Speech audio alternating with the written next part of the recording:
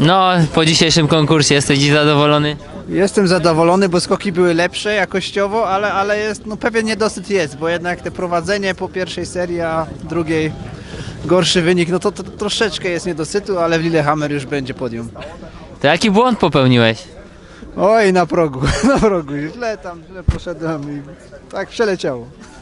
Przeleciało za bardzo do przodu. No, no. a szybkości jak oceniasz? Oj, tam mnie trzepło, tak trzepło, a trzepało w tych torach najazdowych strasznie, ale, ale szybkość była taka optymalna.